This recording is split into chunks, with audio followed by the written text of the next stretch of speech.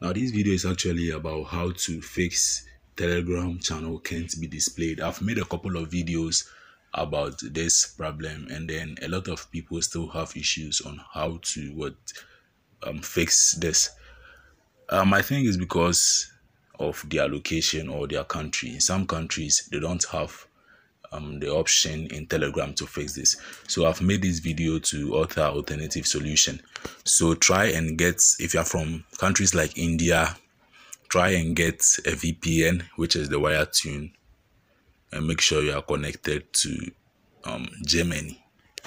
Yes you are connected to germany or any other country which seems to be working. So you are connected to germany and when you go to your web browser you find out that below you see that there is Germany added down even though I'm not from Germany. Even though I'm not from Germany but you can see I'm browsing from what Germany because I've connected my VPN to Germany.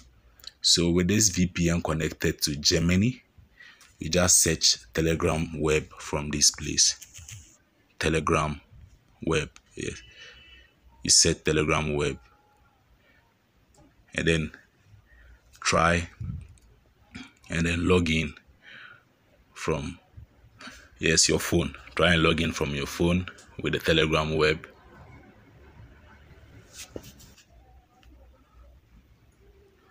All right so from here you choose your country and you dial the number you registered the telegram account with just like your normal okay so you can see my telegram has been logged in on what? Web.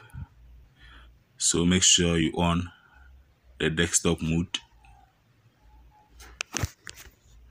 The desktop mode will give you a nice view like this just like you using your personal computer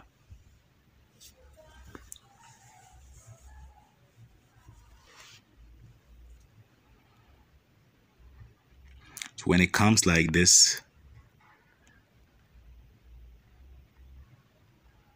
you click on, you tap these three lines over here.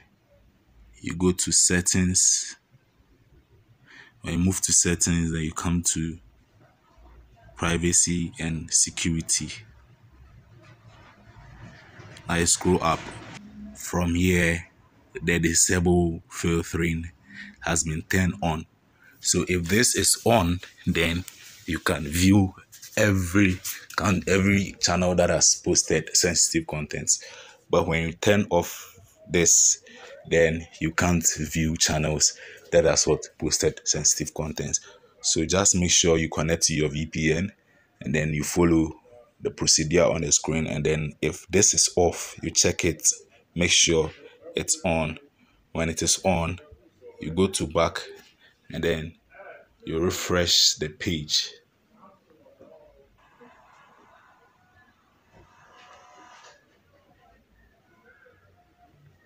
Yes.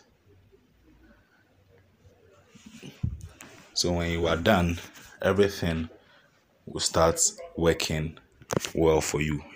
So i think this should fix your problem. But if this doesn't fix you can send me a notification or send me any message on um, my email through my email yes send me a notification or send me a message through my email and then i'll assist you and give you the needed help. So thank you for watching this video. Don't forget to subscribe to this channel and also turn on post notification for more similar content. Catch you up in my next upload